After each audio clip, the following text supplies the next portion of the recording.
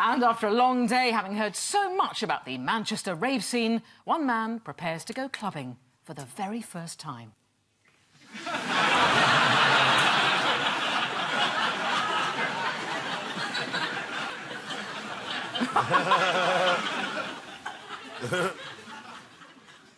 and again.